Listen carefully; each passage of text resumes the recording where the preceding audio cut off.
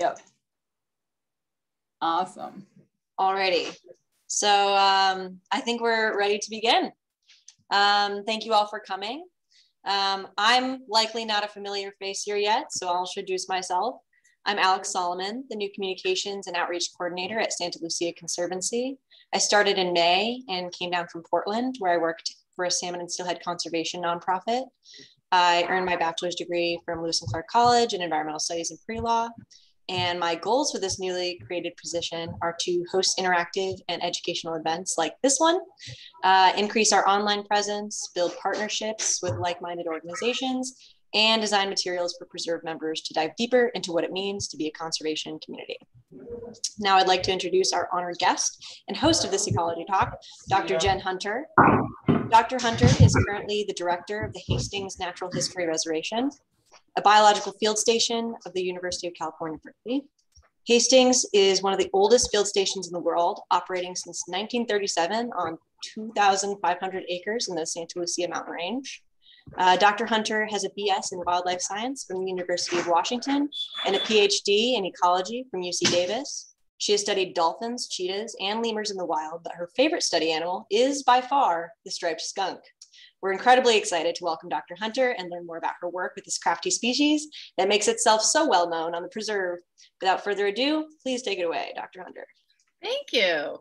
Um, I'm gonna just share um, my screen here so we can Perfect. get going. Um, and you'll have to tell me, I've had problems in the past with people seeing the comments version? Are you seeing the whole one? Are you seeing the one with the notes or are you seeing the regular like presentation? I'm seeing the regular one. Perfect. Okay. Um, so yeah, so I'm Jen. I'm the director at the Hastings Reserve. So um, I know we're a bit far away from you guys. We're at the 26 mile mark of Carmel Valley Road. So we're in the upper watershed. Um, Hastings, as, as Alex mentioned, Hastings has been a field station since 1937. Um, I've only been here for a couple of years, so I'm sort of a new member of the greater Carmel River Valley community. Um, but I worked at, I'll, I'm not going to talk about the reserve network today, um, but so Hastings is one of 41 biological field stations that the University of California owns and operates. And they're located all throughout the state and all of our different um, biomes and our uh, various geographic areas. Um, and Hastings is the oldest in our network and one of the oldest field stations in the world. So it was established originally to be a place for research and education. Um, and then recently we've kind of expanded that to really focus a lot on outreach and community engagement because to me specifically, that's a really important part of what we do here. And the value that we bring to the community is to be able to communicate the research that's happening here and the importance of the work that's done here um, to our community. So um, you, some of you may have caught one of my skunk talks. I've been giving them all throughout the valley in the last couple of years. Um, I studied striped skunks um, as a grad student, and I'll talk a little bit about sort of the, the interesting part of the skunk to me. Um, I'll talk a little bit about basic ecology and biology, but I'm really going to focus on this incredible anti-predator adaptation that they have, which is their coloration paired with that what's I guess science jargon is noxious anal secretion, which I suppose is as cleaned up a version um, as you can get. But it's what they what we have in the striped skunk is this really elegant sort of evolution story. Um, and one of the things I think that makes them such a great sort of ambassador of ecology and evolution is that we see them everywhere. So everybody knows skunks, everybody's had an experience with skunks. Um, I can give a talk in Oakland, California. I can give a talk in Carmel Valley, and everybody has seen a skunk and knows a skunk. So we're starting at kind of the same level in terms of basic understanding of what these guys look like and where they are. Um, and I think that after I've indoctrinated all of you, um, you'll be able to look at them with sort of a new level of respect. Um, so I'll start with the basics. Um, so this is the order Carnivora um, the taxonomic order Carnivora. Um, for years and years and years, skunks were considered part of the mustelid um, family um, or order or suborder. They are not. Um, they are their own family called Mephitidae. So they are um, sort of closely aligned with your mustelids, like your weasels and your badgers, and your procyonids, like raccoons, but they're their own taxonomic family. And there's 13 members of the family Mephitidae. Uh, all of them are found in the New World except these two up here. Um, these are called stink badgers, um, and they're found in Java, Sumatra, Indonesia, um, those areas. Uh, everybody else is found in the New World. We have two species here in California. We have the familiar striped skunk and the less familiar, arguably more interesting spotted skunk. And so these guys are pretty different in terms of body size. So that's one of the things that makes the sort of striped skunk versus spotted skunk story pretty interesting. Um, so a good sized striped skunk will weigh about 11 to 12 pounds. A good sized spotted skunk weighs about a pound and a half. So they're about the size of a ground squirrel. So they're quite, quite small. Um, both species are omnivorous. They kind of eat whatever they can find. Um, they're not big hunters. They don't have great eyesight. So they kind of amble around. They dig. They a lot of times people will see evidence of them digging in their lawns, um, looking for grubs and insects. Um, they'll eat lizards if they can catch them. They'll raid birds' nests. They're actually a really important nest predator for waterfowl. So um, a lot of the work that's been done around striped skunks in particular has been focused on the impacts that, that they have as nest predators of um, ducks and geese and things like that. Um, predators is a big question mark. We'll talk about that later on, uh, but they're both sort of habitat generalists. They live in all sorts of places. They're really readily adaptable. So they'll live in cities, they can live in really rural areas, they can live in agricultural areas. Um, and they're just like consummate survivors. So they typically do quite well in most places. Um, so I think it's important to mention that unlike a lot of animals of this body size, of this sort of guild position, so and by that I mean sort of these small to medium sized carnivores, predation is not an important part of skunk mortality. So most skunk mortality comes from starvation and disease. Um, there are I spent a lot of time, as one can imagine, when you're writing a dissertation that includes skunks, um, and you're looking at predation and risk of predation, um, one reads a lot of papers. And I have not yet encountered a paper on skunks that shows that they under are under any significant predator pressure. Um, and I'll talk a little bit about their ecology, although I've cut some things out of my slide. So maybe I'll actually, I'll just go into it now. Um, so skunks typically, most of the work that's been done with striped skunks has been done in the Midwest and the high plains and in Canada. And in these locations specifically, there are really, really harsh winters. Um, and so what skunks do, striped skunks, is that they will den communally to sort of um, stay warm and things like that when the weather's really extreme.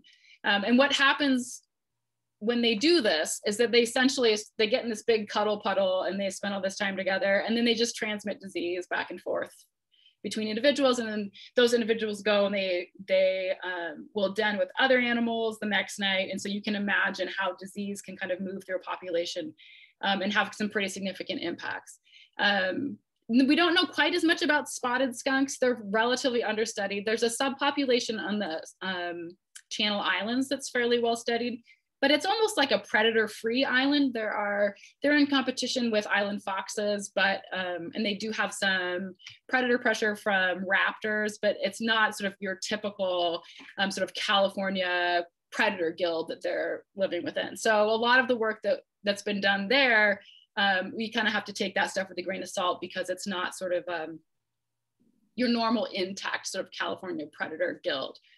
Um, so the breeding season for both of these guys is a little bit off. So striped skunks, their breeding season is February to March. You'll notice when there's a lot of roadkill skunks on the road, it'll be that in that time period. Um, they're not particularly territorial, so oftentimes animals will be traveling looking for mates, which is why they get hit on the road um, as often. Um, spotted skunks, their breeding season is September, uh, but babies are not born until May. They have this really unique system of delayed implantation where the, the fertilized blastocysts will kind of float around inside the uterus um, and eventually implant on um, the uterine wall in April. So it's a real funny system. I don't know that there's a real explanation for why that happens, but that seems to be the case. Um, one question that I get all the time is how soon can they spray? Um, and so uh, it's pretty soon. For striped skunks, it's within eight days, but they really don't know what they're doing. They're just kind of randomly spraying. Um, we don't know how soon spotted skunks can spray. It takes them about a month to two to be able to kind of spray directionally. Um, and you can imagine what life in the den must be um, after a couple of weeks. Um, they don't hit sexual maturity until almost a year old, and the lifespan is quite short, again, because of this impact of disease on these populations. Most skunks in the striped skunks in the wild only live one to two years. Um, and so, and we don't, again, we don't really know for spotted skunks you'd be surprised to learn that skunks are difficult species to study. Um, and so, um, you know, we definitely could know more about um, their basic ecology. And a lot of the work that's been done, again, has been happening in a very, a couple of very small geographic areas and it's very few studies in number. So um, I would love to know what's happening in California with skunks, particularly because we don't have these harsh seasonal winters. Um, it may be possible that disease is not such an important factor here. Um, so I'll leave it at that. It's also worth um, noting that the babies are like insanely cute. Um, they have these big giant heads and they're an absolute delight. I ran into a mother and five babies on the road here. I say ran into, I did not hit them. I encountered them on the road. Um, and they just make the most spectacular little cooing sound and they follow the mom around really close, like tuck in right behind her. It was a delight. Um, and then it's also important to know that their coloration is on their skin. So even when they're days old and they haven't fully furred out, um, you can see sort of the color pattern that they will eventually have. Um, it's kind of a long video, but I'm gonna play as much as I can, as you can tolerate. Um, so we all are familiar with this scenario, um, skunk versus dog. I'll just note that while the video is playing, that the tomato sauce as a skunk spray treatment is not effective. Um, it causes something that's called olfactory exhaustion, where your whole nasal system basically shuts down.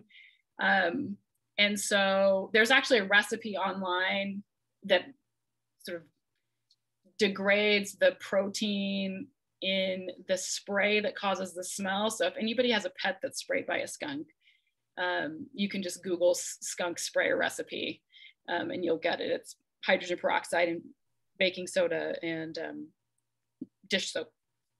So the reason I show this video is so you can see how long it takes for a skunk to spray. Um, so this fool is recording his dog harassing the skunk. The skunk doesn't really have anywhere to go. There's some body of water on this side. The dog's getting quite close and that's it. So we're like a minute into the video and this dog's finally been sprayed. And so we're all, many of us are also familiar with the aftermath here um, of the rubbing on the ground and the general canine misery.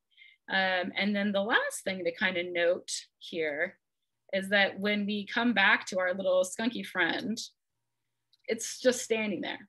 Like it's not, it feels like it's delivered the message it came to deliver.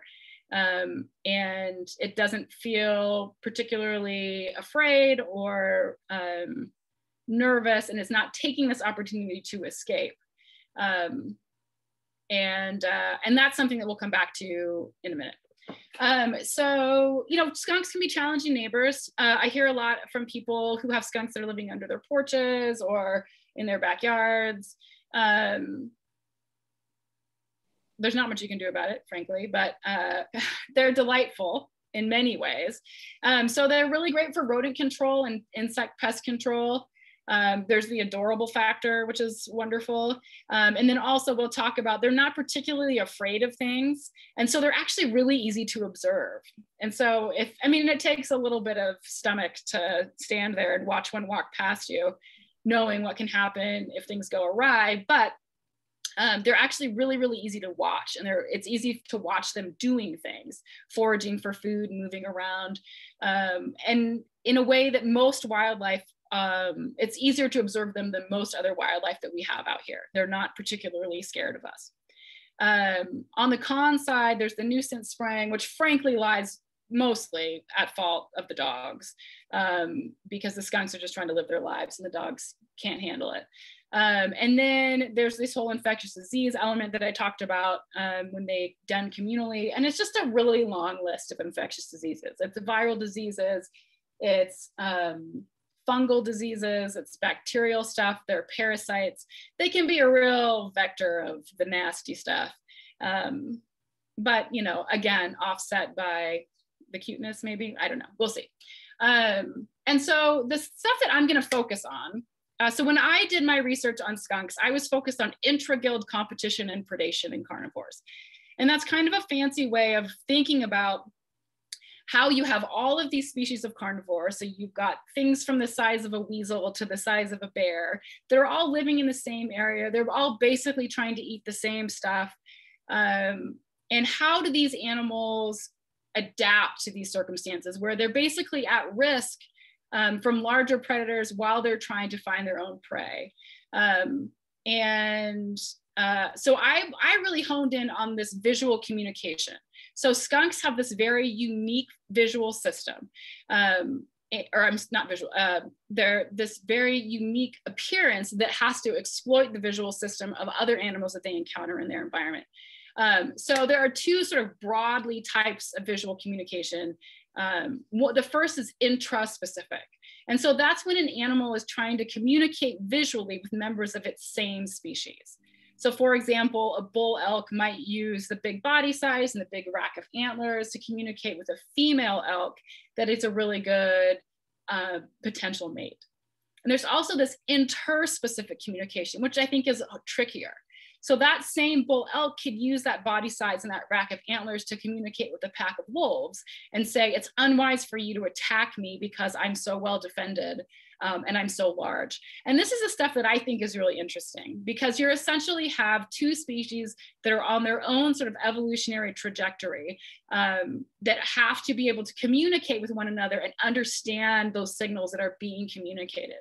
Um, and so, uh, so one of the, the types of signals that can be communicated are these things called signals of unprofitability.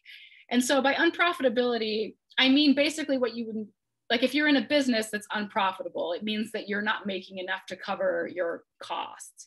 Um, and so signals of unprofitability are signals that prey can use to communicate with their potential predators and say that the cost to pursue me, catch me, kill me, the energetic cost of that activity is going to be greater than the benefit that you receive from eating me. So it's basically trying to work out that, like those, uh, help predators work out the math about um, how valuable these animals are as potential food items. So there's a couple of different ways that that happens. One is that animals can demonstrate to their potential predators that they're difficult to catch. So the top image there is a greater kudu. They have this white bar between their eyes.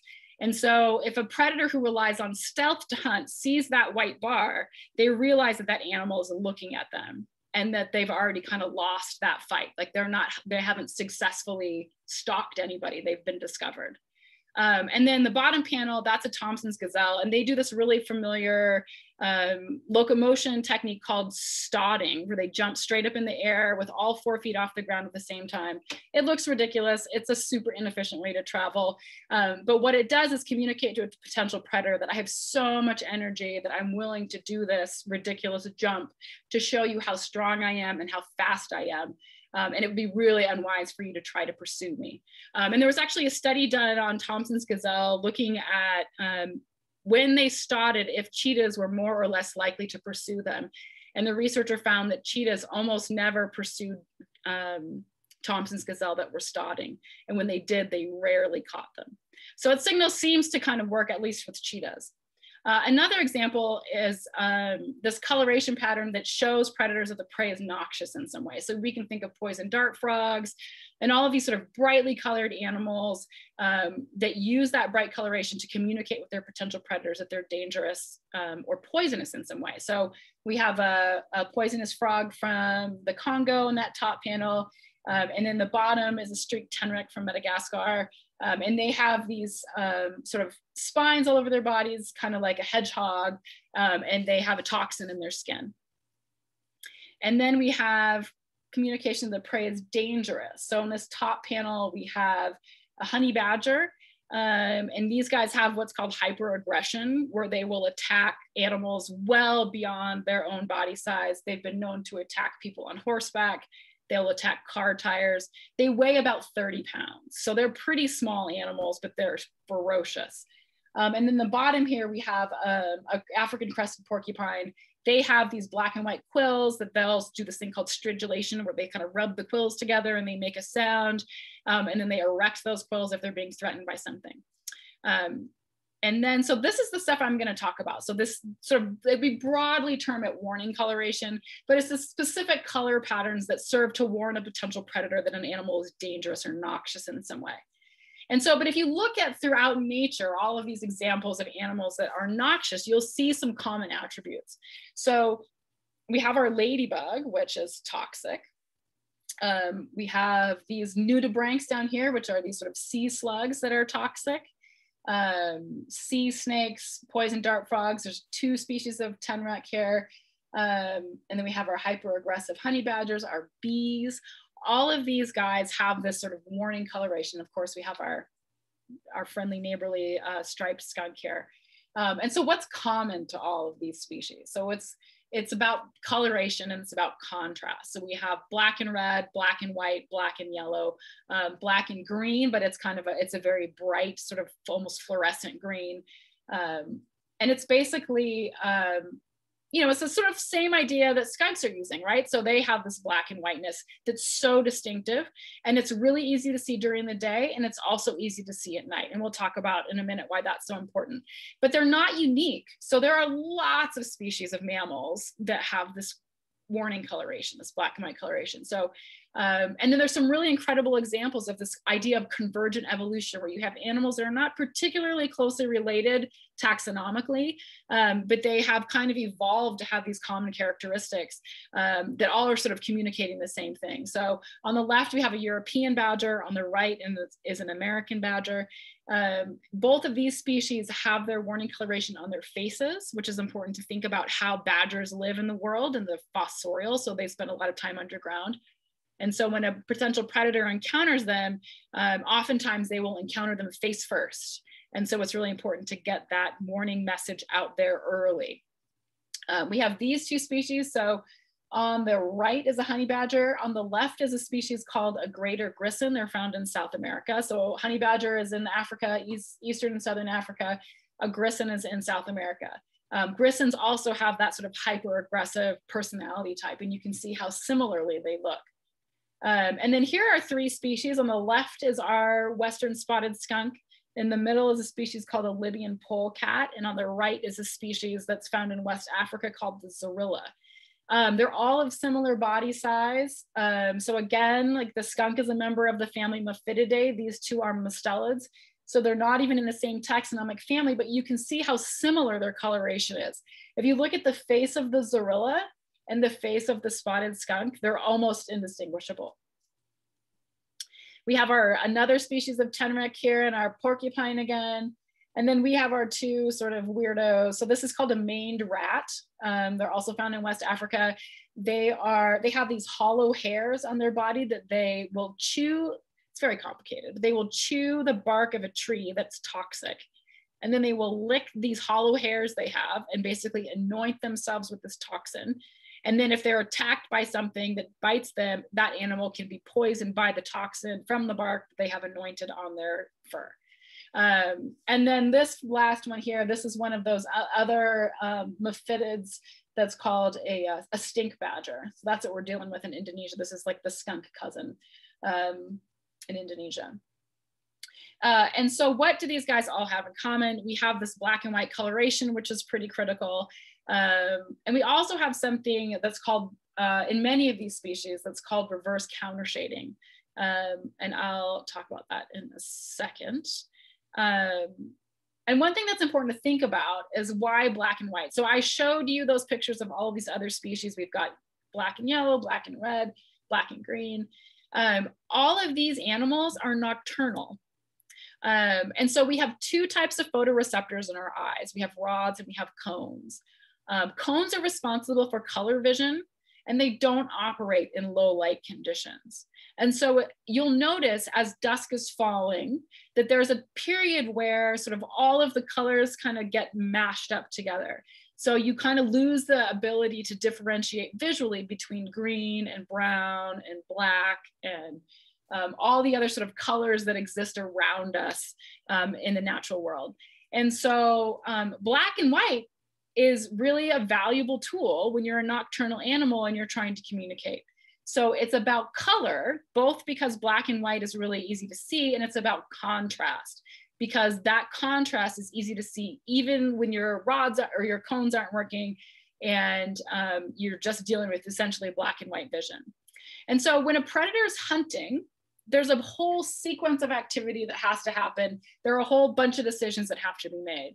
Um, and so the first thing that happens, so if a bobcat's hunting a hare, it's got to see the hare and it's got to identify what it is as a potential prey species.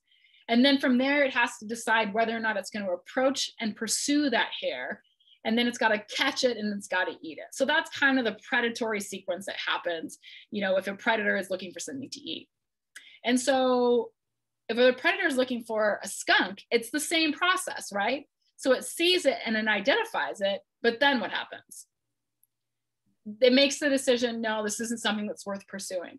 So nine times out of 10, if a predator, the further along that a predator gets in that sequence above, the more likely they are to pursue that animal until it, they catch it or it gets away.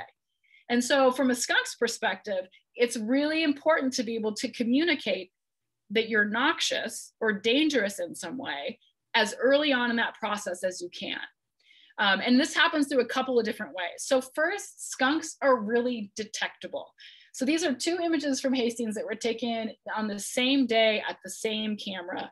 Um, and you can see the difference in terms of being able to visually differentiate a skunk from the surrounding vegetation compared to a bobcat from the surrounding vegetation. So a bobcat is cryptically colored. They're trying to hunt their food. They want to sneak up on it. They don't want to be easy to see. Um, for a skunk, it's really important that they are detectable and that a potential prey or a predator can detect them really, really early in that predatory sequence. They also have to be discriminable, which means they're significantly different from the other species that are of the same size that they share the world with. So, you know, a, a gray fox and a striped skunk represent almost the same size meal to a potential predator, uh, but they look very, very different. Skunks or um, foxes are cryptically colored. They have these this long these long legs and a long tail. Skunks have this really distinctive body plan, and they have that really, really, really easy to see contrasting black and white coloration. And the third element is that they're memorable. So research, research has shown that animals that have previous bad experiences with warning colored species tend to avoid warning colored species in the future. Um, and the classic example of that is a study that was done in the 60s using blue jays and um, monarch butterflies. So monarchs eat milkweed, uh, which builds up the silica in their bodies, so they are toxic. And so they took hand-reared blue jays who had never seen a monarch before and fed them monarch butterflies, which the jays were happy to eat the first time around. Um, and then they got quite sick and they, this is on the right, that's what a bird looks like when it throws up.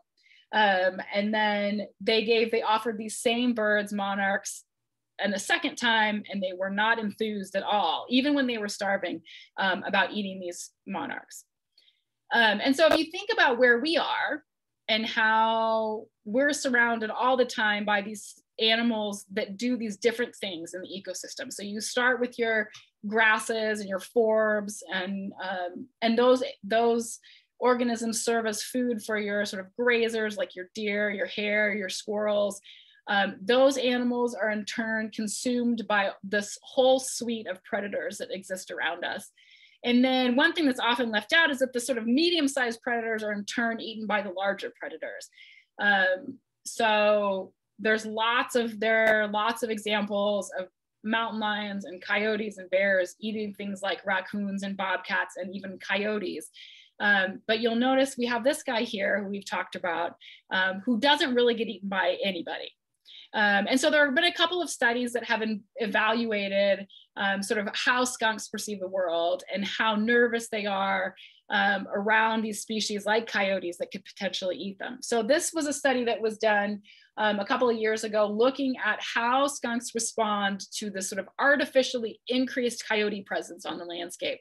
So the researcher was playing um, coyote howls, they were spraying coyote urine all over the place, basically trying to create an environment where a sort of skunk passing through might think, oh my God, there's this coyote situation happening here.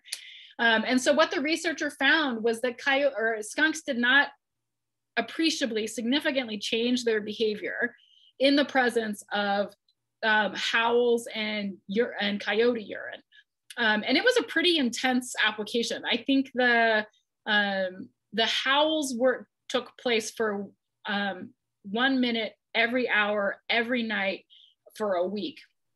So um, it was a pretty intense sort of coyote situation, and there was no response from the skunks. And similarly, they didn't change how they ranged through the landscape um, in proximity to these um, various coyote cues that were out there. Um, and then the other thing I'll just mention, um, usually when I give skunk talks, there's somebody when we back when we could like be together in the same room. Um, people would say, but what about owls? So great horn owls are sort of this legendary skunk predator, skunk specialist. Um, and it undoubtedly happens. So here's a great horn owl. Um, and this is a Molina's hognose skunk that it is halfway through eating. This picture is from Argentina. Um, it was actually published as a note in a journal in 2016 because it's so uncommon to actually have evidence of great horn owls eating skunks. Um, so there's a, been a couple of really notable studies, um, and there are undoubtedly owls that are skunk specialists, but the cost to owls is potentially quite high. So um, oftentimes people will tell you, but owls can't smell, so the skunk spray doesn't bother them. Um, and that's true, um, but it's not the smell that's the problem with skunk spray. It's essentially like a chemical burn. Um, and so this uh, below, I realize it's insanely small writing, but this was a note that was written up um, in a journal talking about um, some great horned owls that were brought in um, to wildlife rehab facilities. And so I worked at a wildlife rehab facility when I was in college, um, and we certainly got great horned owls that smelled skunky. Um, but if you think about why these animals come in, it's because they're incapacitated in some way. So I'll just read a little bit of this. Um, so this is a, they're discussing five owls that were found and brought into rehab facilities between 1976 and 1978. Um, all of the birds smelled strongly of skunk scent and four of them were emaciated. Their eyes had a clouded experience, or appearance and their vision appeared to be impaired, possibly indicating that the birds had received part of the skunk spray in the face. In addition, discoloration of the feathers on the breast and face was apparent on some of the owls, probably caused by contact with the spray of the skunks. All five, all five owls were found on or near roads and could be easily approached. One of the owls, which was not emaciated, had puncture wounds in, in, on the breast and abdomen and died a day after it was found. Um, four of the owls were treated for dehydration and emaciation. The owl with the puncture wounds was treated um, with antibiotics yada yada. Two of the owls died and three were released having fully recovered. So what that tells me is so these owls were found on a road, right? On or near a road. And if they if some good Samaritan hadn't stopped and picked those owls up, what might have happened to them? Right? They would have been eaten by something else. They would have been hit by a car.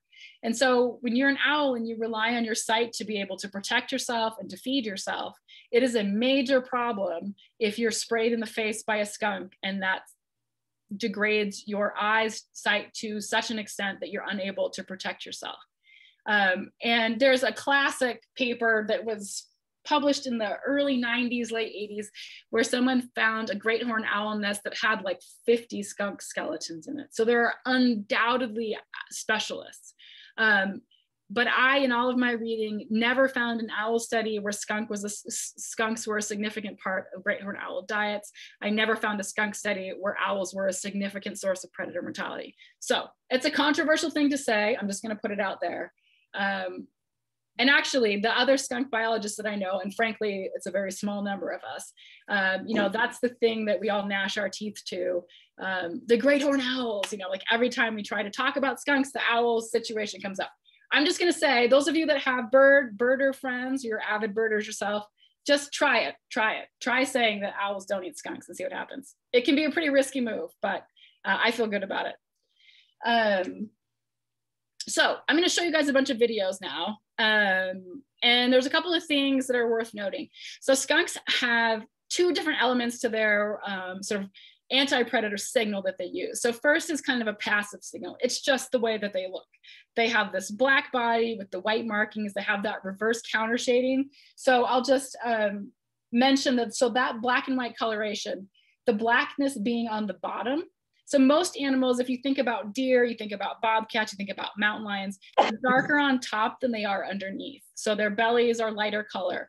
And what that does is it helps break up the body shape and it helps an animal, particularly when they're moving in and out of sun and shade, um, they're not that easy to differentiate from the background. This reverse counter shading, the, the, darker on the bottom than they are on top, makes them easier to see in the landscape than they otherwise would be.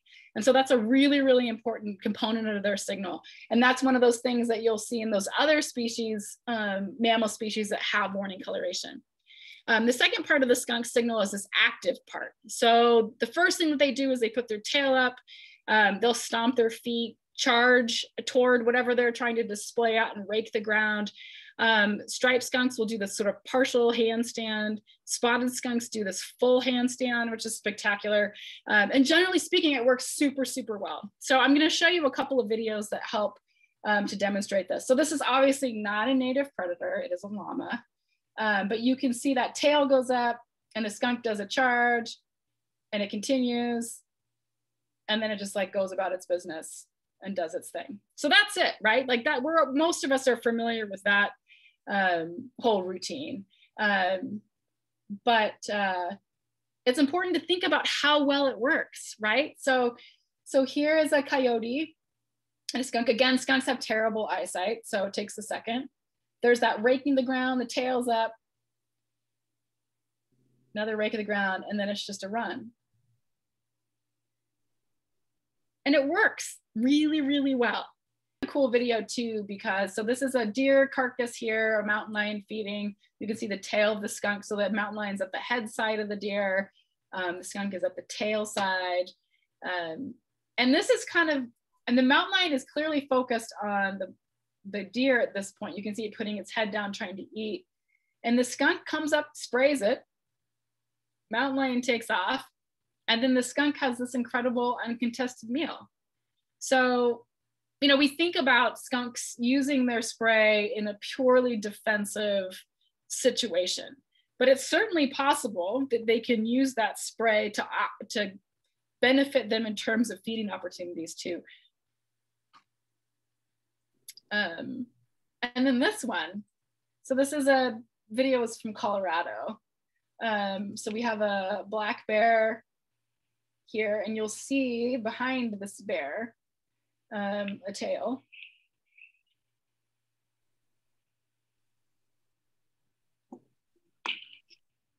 I mean, and so we're talking about a body size differential in terms of orders of magnitude. Um, and I mean, I, striped skunks are potentially the most behaviorally dominant carnivore in the Americas. So they can take on animals 10 times their body size, more than that. I mean, if this is an 11 pound skunk and this is a 200 pound bear, um, you know, it's a massive difference in body size. Um, and they continually have success in protecting themselves and their resources against these animals that are so much larger than they are. Um, this story would not be complete without our stripe, our spotted skunk. So this has all been striped skunk. Um, spotted skunks and their incredible handstands. Let's see if I can make this thing play. Um, so they just kind of kick up. This was our video from here. You can see, can I just talk about my process here? I'm just gonna move this guy out of the way. See, there's another camera here. I got one spotted skunk on this camera and decided that this was going to be like a photo booth. And I had like 12 cameras set up in this one area, hoping to catch exactly this, um, which is why there's a camera taking the video and also another camera in the background. Um, but so they do this handstand and we have this boop of the snoot there, which is also lovely. Um, from further away, this is what it looks like. So they do this handstand. So the head of the spotted skunk is down here at the bottom. We have the feet out to the side here. They can spray from this posture. They'll basically bend their back forward and spray over their tail. So they'll stay in a handstand position while they spray. Um, and while they're super small, again, the size of a ground squirrel, um, they're just as ferocious as their larger cousins. So we have bobcat here, spotted skunk, chasing the bobcat. Uh, their eyes are glowing because this is an infrared flash on the camera, so which is actually really helpful because it helps you be able to um, see these animals at a distance, that eye shine. So this is, you know, minutes later, bobcat's back up here just trying to live its life. Spotted skunk is not into it. So bobcat runs down, spotted skunk still chasing it, still chasing it. Um, you know, they're just tenacious. And um, there's, a, here's another, um, this is not such a great video. Um, this is from a research study that was up in, I think it was Mendocino County. Um, so it's a mountain lion with a GPS collar on it. Um, and the researchers were watching the video. They see that she stops feeding and moves off. Um, and this was from several years ago, so the resolution is not great. Um, but you'll see in this area, this little tail crop up at some point here. Um, let's see, oh, there it is. So you can see this little thing right here is a tail.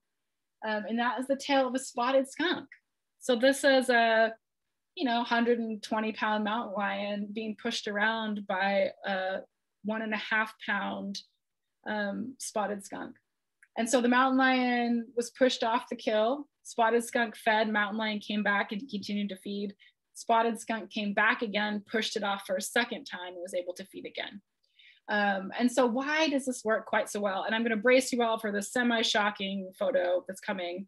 Um, this is why. So they have this incredible chemical defense that they use against their predators.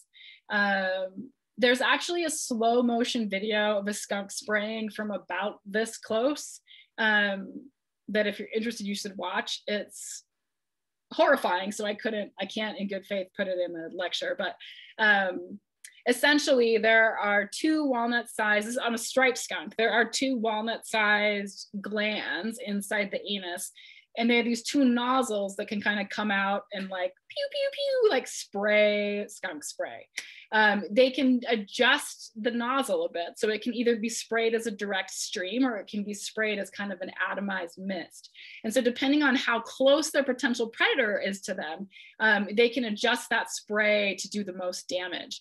Um, they can spray consistently about 15 feet with good accuracy. Um, and if the wind is in their favor um, they can spray up to 30 feet um, there are two key ingredients in this. There are seven volatile components of the spray, um, but the two key ingredients are called thiols and, and thiol acetates.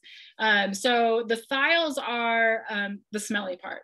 Um, but then the thiol acetates, when they're hydrolyzed with water, they become thiols. So essentially, if any of you have had a pet that's been sprayed by a skunk, if you hit a skunk with your car, um, you wash that animal, you wash your car, enough time goes by, you feel like you've dealt with the smell, um, and then it rains and everything gets wet, and the remnant thiol acetates will hydrolyze and then start smelling again like the day it happened. Um, they bond really well with the proteins in your skin. And so if you get sprayed or you get the spray on you, it's really, really hard to get that off. Um, the symptoms are similar to tear gas. It's nausea, vomiting, temporary blindness. It's one of, and it's one of the easiest sort of chemical compounds for humans to detect at low concentration. So we can detect skunk spray at about 10 parts per billion. Um, it's similar to um, the chemical when you cut an onion that makes your eyes water, um, and also the smell of natural gas. So natural gas doesn't naturally have an odor, um, but after uh, there was an explosion at a school in the 1930s, I think, um, and uh, and since that time, that's uh, municipalities require that the smell be added to natural gas because it's so easy for us to detect. Um, and this vial here on the right uh, has water and skunk spray in it. um, and it's heavier than water. So it actually, so this is water at the top and the sprays at the bottom. But the consistency, it's not thick and oily and weird. It's very, it's almost like consistency of like a vinegar. It's very, very thin. Um, let's see, let's go. I've lost control of my slides here. Oh, there we go. Um, and this is uh, just to give you an idea of another option uh, for how skunk spray works. Um, this is an article that was written in 1881.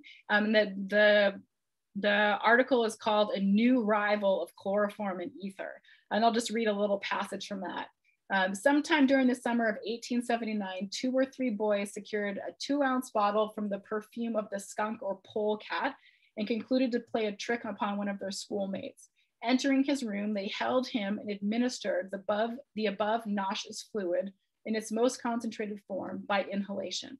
I could not ascertain what amount had been administered. However, when I, when I reached him, I found the following symptoms a total unconsciousness, relaxation of the muscular system, extremities cool, pupils natural, breathing normal, pulse 65, temperature 94, in which condition he remained for one hour. So if anybody ends up in kind of an apocalyptic type scenario and you need general anesthetic and you don't have one available to you, there's an option here. Um, and I do appreciate also that one of the uh, passages in this article, just to show you where we are as a society compared to where we were, um, it says, we publish the above with the hopes of inducing ambitious young students to make further experiments on themselves and report the results. Um, so just an option for folks out there who are looking for something to do. Um, I'm almost uh, done. I, I want to just make a, a point about something that I tried to do, which was unwise, um, but further demonstrates the effectiveness of skunk spray. So I decided I was going to do an experiment looking at how the concentration of skunk spray um, the impact of that on potential predators. So, if you were a fur trapper, you might buy a, car- a, carnivore lure to try to attract other carnivores. Nine times out of 10, a commercial carnivore lure is going to include some component of skunk or skunk anal glands because that smell at low concentration is really attractive to other species. At high concentration, it's a completely different animal. So I was when set about collecting skunk spray from roadkill skunks. So I found this female on Carmel Valley Road. I collected this spray, which was way more than I was anticipating. I knew when I was doing it, I should have a respirator on. I've given this talk 100,000 times. I knew I should have a respirator on. I knew I should have more protective equipment. Um, I chose not to do any of those things. Um, and when you pass like a skunk that's been hit by a car, that smell is not horrible. I mean, it's very skunky and very distinctive, but it doesn't make you regret anything. Um, when you encounter it in your face, it's it gets in your throat, it gets in your nose. I tasted skunk and smelled skunk for like three days after doing this, and I hadn't even been sprayed. I was just breathing the fumes. Um, I essentially manually extracted the spray from the skunk and you can imagine what that looked like. Um, and then i poured it into this test tube.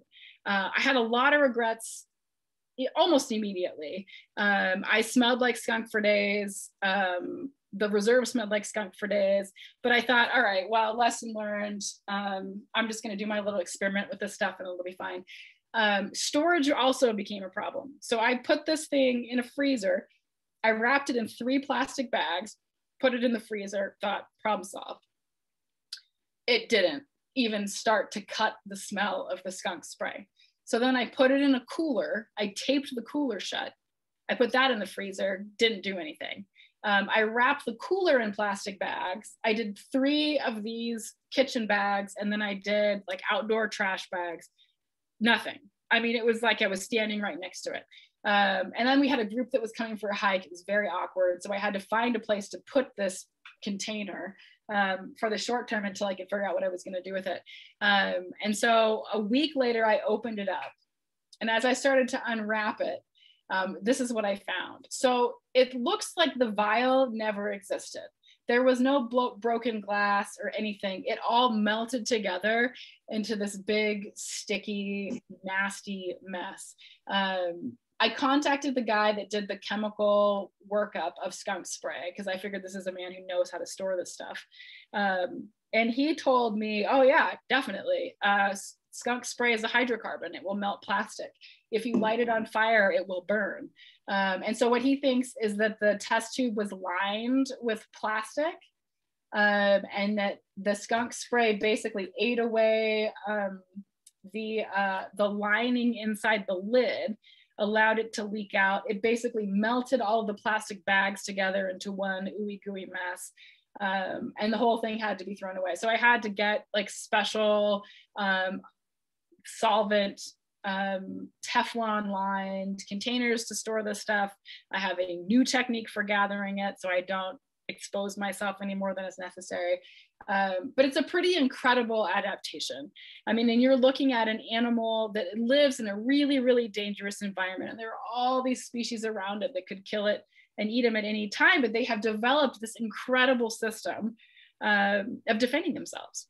Uh, and so I'll kind of leave a recognizable warning display to minimize the amount of times that they have to spray. Um, and that, yeah, it's just something they do when they absolutely have to.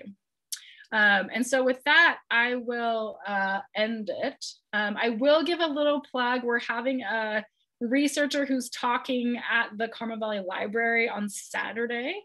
Um, Hollis Woodard, who's an assistant professor at UC Riverside, and she studies native bees.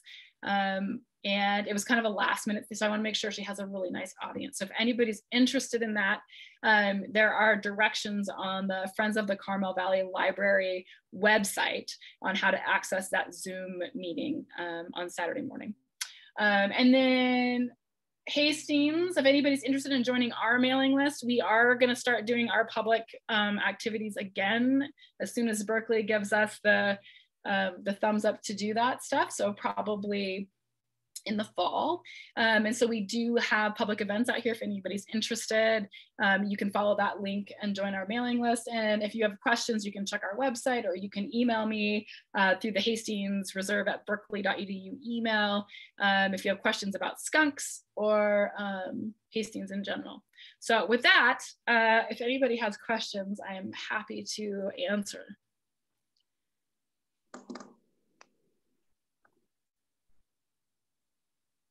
It was the perfect talk then. No questions. I thought it was a fantastic talk. Thanks, Dr. Hunter. Here's a question for someone who's trying to build a house in the preserve. Is there something to stay away from that won't attract them to basically take over our house? Because no. they, they, look kind of like bullies from what you demonstrated. Um, yeah, no, they um they're gonna go where they can eat. They're not. They have really big home ranges. They kind of cruise around. Um, they may pass through. They will nest in under decks. They will. So if you have, if you're building a deck or something, make sure to do like a hardware cloth around the perimeter to keep them out. Um, they uh, they'll nest in down logs they do that kind of stuff. They will forage in lawns that's a big complaint so prepare yourselves um, for that. Um, i mean they're eating pests but they destroy the lawn in the process. Uh, so there's no real surefire skunk avoidance technique. Um, they're just, they're wonderful. You'll love them it'll be great. Um, i have a question Oh, sorry. You go ahead, Carl. Uh, sure. Okay. Oh, other Carl. Sorry. Uh, the other Carl. Sorry. There's two of us, and we're neighbors in the preserve.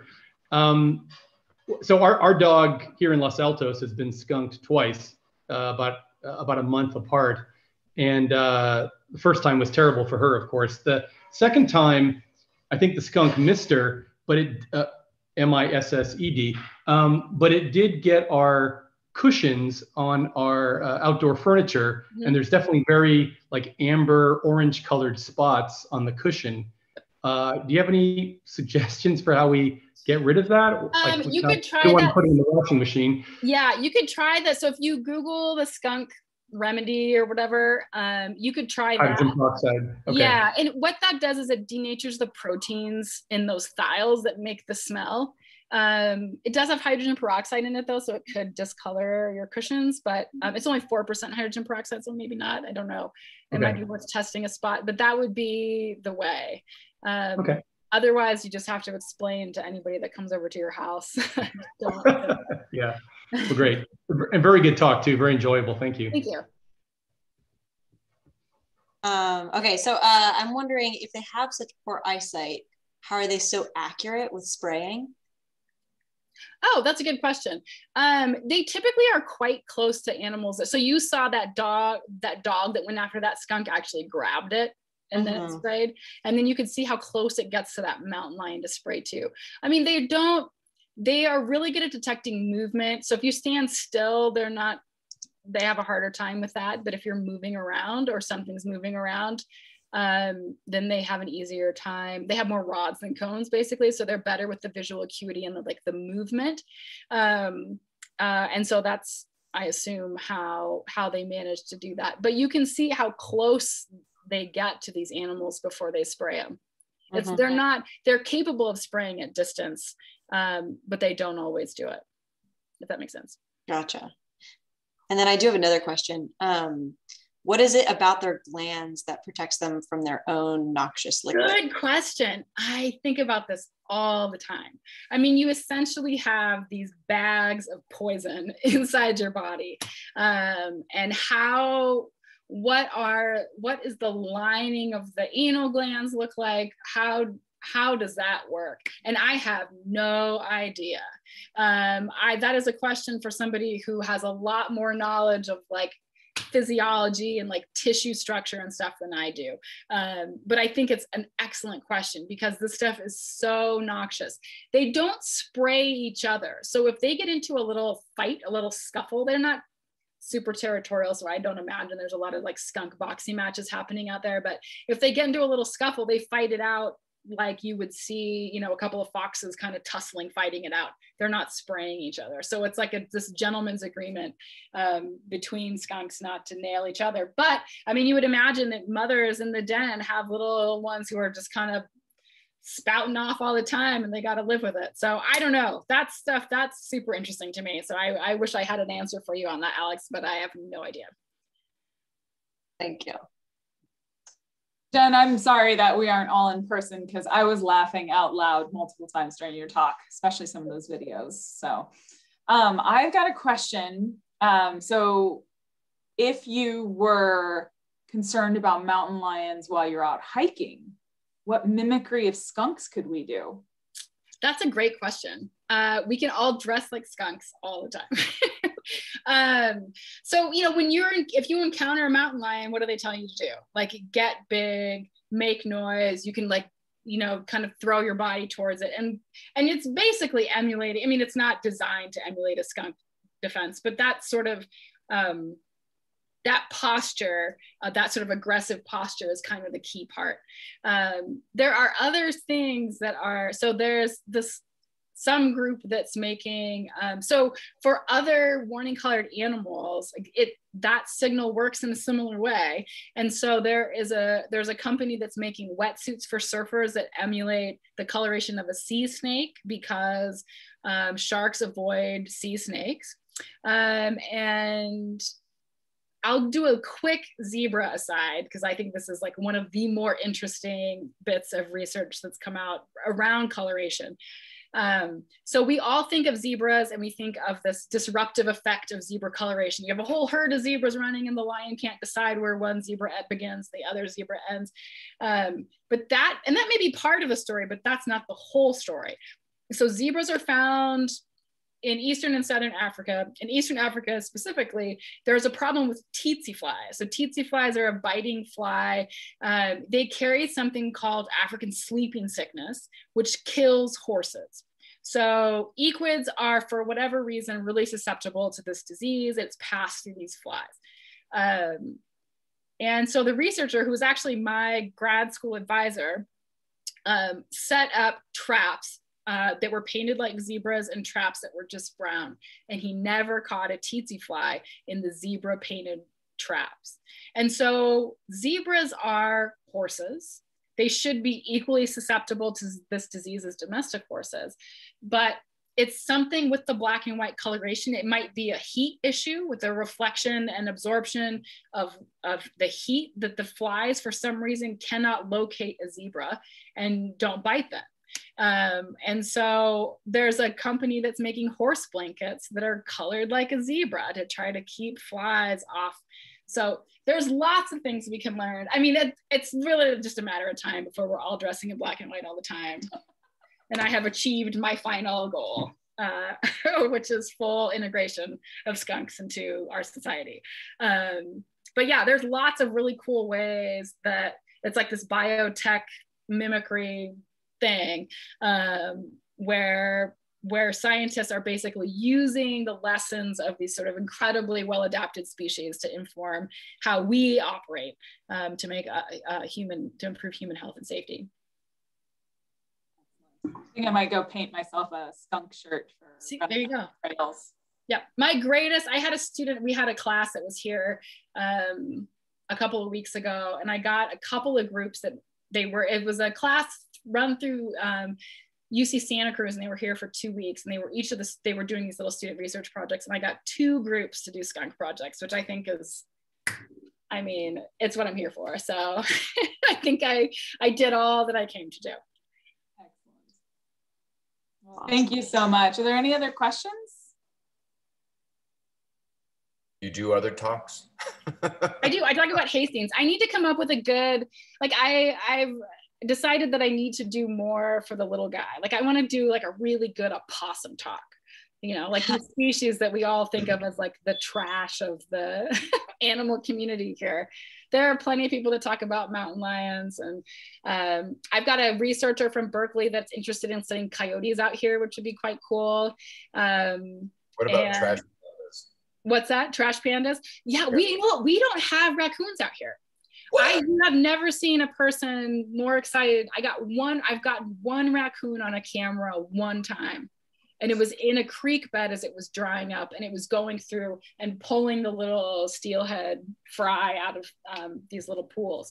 It's the oh. only time i've ever gotten and we have 28 cameras out. I've never gotten a raccoon out here. They're really rare on the preserve too. I've only we've only seen kits once wow it's crazy yeah they're they're not common we probably yeah. have more than you guys but yeah we, we hardly wow. see them I, I actually do have put, another question about. Oh, sorry, go ahead, Natalie. No, you go. I was going to say you just put an immigration ad in San Carlos and you can get tons of them to come down. we'll get a little uh, pipeline going. I yeah. see him roadkill in the village sometimes, but that's it. Wow. Um, and another thing, sorry, Natalie. Natalie asked your question. Sorry. No, go ahead. I was just going to say the other thing that we don't have here that I'm anticipating we will have eventually are red foxes. We don't have any red foxes here, um, and I get I get them. Um, there are people in the village that have gotten them on trail cams, and I'm just kind of curious. I'd like to see, and maybe I will. I just hate using Facebook, so that's like the barrier for me. But um, I would like to see if people will send me their um, red fox images and we can map out where they are because I'm really curious about that um, and if they eventually make it out here and then how that affects us. So anyway, sorry, Natalie, go ahead. Okay, so um, I heard another talk uh, about skunks on the radio one time, and doesn't it take like doesn't it take like 30 minutes for them to recharge once they've um, kind of discharged their odor? And then aren't they vulnerable during that time? And so how come they keep chasing you know how come they kind of keep chasing when they've when they're kind of vulnerable? Well i've heard that they can spray seven to eight times per bout. So they can spray and they can control how much they're releasing. So if they don't let loose completely um, they have some reserve. Um, and so that's, I've always heard that. I haven't heard the 30 minute thing. And that could be that if they're completely depleted, it takes some time to regenerate enough to be useful. But if that were the case, I would be surprised that it was only 30 minutes. Um, so that's I don't know. I I haven't I hadn't heard that before. Um, so that would be worth investigating. Well, um, this was a this was a couple of years ago, and I might and we were in the car listening to this, and so I might there's a very good chance that I got some of my facts um, um, mixed up. So don't get don't take me you know, don't take me at my Oh word. no, sure, yeah, no. Um, but but then I mean, so I guess so I guess you're saying that they protect themselves so they're not totally vulnerable. Right. Yeah, they can typically spray enough to get the job done. Um, and then again, like these animals are incapacitated once they've been sprayed. And so that was part of the rationale for my poorly thought out um, skunk spray experiment. Um, so one of the reasons that that smell might be attractive um, from a distance, so it's an attractant at low concentration, maybe because if they spray something, that animal is incapacitated, right? So and if a skunk sprays a bobcat and the bobcat's temporarily blind and it's throwing up and it's miserable, like maybe a mountain lion smells that from a distance and is attracted to it and comes up and finds a bobcat that's can't see and can't defend itself. In which case, the skunk may have essentially removed a potential predator from the landscape by spraying it because it was eaten by something bigger. Um, so, I mean, there's a lot potentially that could be going on um, that's slightly more complicated once you kind of get into the weeds about how all of this works and the impacts it has in the broader community. It was really fantastic. Thank you. Good. No, I'm glad you enjoyed it. That was great. Sign us up for the Thank you. encore. Good. Jen, I'd love to put in a plug for uh, Wood Rat Talk. That's yes, the wood rats. Uh, they are they're definitely the undervalued uh, Yes. architects of the forest. Yeah. I have this fantasy. We have this little museum building here. These are the things I think about. Um, and I went to a museum in Oregon and they had this bee, um, like a beehive that was in the building, but it had like a little tunnel where the bees could come and go. So you could like watch the bees come in and like get in. Yeah. Um, and I thought that's what we need to do with wood rats. Like we need like a wood rat nest inside the building and then have like a little entrance and exit so the wood rat can like come and go. And so you could have this whole thing that you could, I think it'd be so cool. They're so interesting. It's incredible what they can do. Absolutely. And they're adorable and they're not unfriendly. I mean, trying to, I'm gonna be like one of those lunatics that has like one of every animal living in their house with them. But you know, it's who I am. so As long as we're on the discussion, at the topic of rat-like things, we don't have mountain beavers in the preserve, do we? I wouldn't imagine so. I mean, I've heard that I've heard there's beavers in the Upper Carmel watershed. Yeah, but But- mountain beavers, Mountain real, beavers. not real beavers. I'm just Mhm. wondering if we have any of those sorts of things. Our friends up in Seattle are just their entire hillsides being compromised by them. I wondered if we had any such things. I don't know. I don't even know where the range is. I don't think so. I I feel like they're um they're a bit more um uh like uh high uh, like conifer forest like i imagine like a northwest type scenario maybe like mendocino county like northern california um i feel like they're more like very closed like evergreen foresty type guys i mean I, i'm basing this on nothing but my feelings um but that that's i've only ever encountered them in the northwest Impressive tunnelers. yeah All right. Well, thanks, folks. Thank Sure you so much. Um, if that's all the questions we have, I think this is a good place to wrap up. Um, thank you again so much, Dr. Hunter, for the lively discussion of thing. our And- uh, and one sneaky time I'm friends. to do this. I get so excited in a group of people too. So like one time we'll be like be able to get real with it. It'll be fun. We'll have to get. We'll have to have you back when uh, we can all meet in person and Yeah. share our skunk love for There we go. with the with the rest of the preserve members. That's right. There you go. Awesome. Well, thanks guys. I really appreciate it. All right, thank you very Thank you. much. Appreciate All it. right. Have a good night. For coming, Bye-bye. everybody. Bye-bye.